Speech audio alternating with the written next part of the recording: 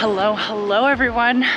I have made an exciting new upgrade to my single speed and I am very excited to show it to you. Bullhorn bars.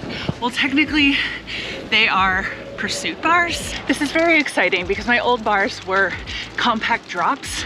They were very narrow and rather uncomfortable for a couple of reasons. First and foremost, one of the reasons that they were uncomfortable is because I am kind of long. If you follow my channel, you know that I'm pretty tall, 5'11", or 181 centimeters. One second. Oh, man.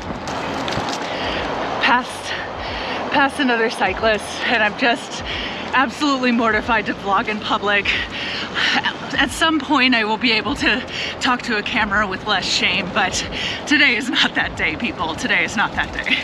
So the compact drops just a little bit narrow and I'm just like kind of broad shouldered and I would have liked something a little bit more wide. Second is that there was no reach whatsoever. I felt a little bit cramped in my shoulders and on rides that were longer than like say 15 miles, I just got a little bit uncomfortable in my upper back. Anything shorter than that was fine uh, but I wanted a little bit more of a longer reach. And lastly, I'm super used to using uh, another cyclist, fuck. Also super used to using, uh, what do you call them? The brake levers, hooded brake levers. and I wanted like having to kind of reach in the middle to, to brake was just, sometimes I would forget and it felt a little bit dangerous at times um, to have the brake levers in a place where I wasn't quite used to it. So I decided to change to these where the brake levers are on the hoods at the end of the, at the end of the pursuit bars. So y'all, I am filming this on December 8th, 2022 and it is 75 degrees outside at 4 p.m. Oh my God, I can't believe I'm wearing short sleeves right now. It was just super cold.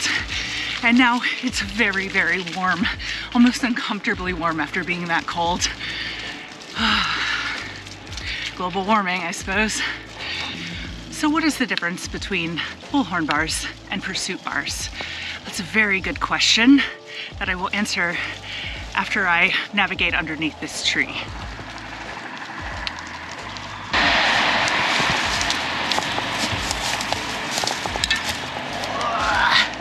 All right. So what is the difference between those two? And the reality is, I actually don't know. I saw, I saw them on Amazon and one looked slightly more aesthetically pleasing than the other. And so I went with the Pursuit Bar. Now, do I regret my decision? That remains to be seen. so here they are. And you can see that there's like a little dip where your hands go like that. And so I feel really tucked and a little bit more aggressive every time I ride. And I can actually feel it, I'm like leaning over more and I actually, with each pedal stroke, feel it a lot more in my glutes than I did when I was when I was using the uh, compact drop bars. And so it's kind of more of a butt workout, which is, I guess, nice. I don't know what that means long term in terms of fit, but I'm gonna ride it for about like 100 more miles and see if I'm having any issues and go from there. I also switched the brake levers to uh, be at the end. The other two brake levers didn't actually fit right there, so that's another reason why I switched. But I much prefer the brake levers at the end of the handlebars. So one other change uh, to these handlebars that I did was I have waxed poetic about how much I love cloth bar tape and I used the Newbaum's regular cloth bar tape, not the padded kind for my other handlebars and I got really tired of it. It was really uncomfortable in my hands. Even though I really like the texture, I felt the vibration of the handlebar through my hands a lot more acutely than with padded bar tape. So I just chose this. I think this is Campagnolo and it's some kind of cheap bar tape that I got off of Amazon for like $8 or something like that. And so far it's great. So far it's totally fine. one other upgrade. Okay, it's not an upgrade. I switched it out because I already had the pedals, but I chose flip-flop pedals to put on my single speed because sometimes I ride this bike to a coffee shop and I don't want to wear my ugly cycling shoes to a coffee shop in a nice, cute little outfit. So for rides like this, it's just doing like a quick 10 miles before dinner and I'll wear my ugly cycling shoes, but when I'm going somewhere, I don't really want to be caught in them. So, but I'm also just petty. Now, in conclusion, do I like these more than my compact drop bars?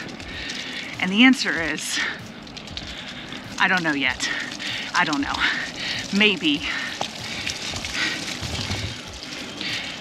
The very least, the handlebar tape is a little bit more comfortable.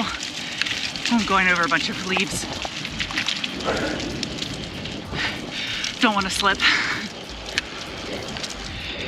Anyway, at the very least, the handlebar tape is a little bit more comfortable. But yeah, I don't know yet. I'm not sure. I think they're gonna take a little bit of getting used to because I really like drop bars. So we'll see. All right, y'all, that is my video on my new set of handlebars. Thank you so much for tuning in and listening to every minute update that I make to all of my bikes. You guys are amazing, and I will see you next week.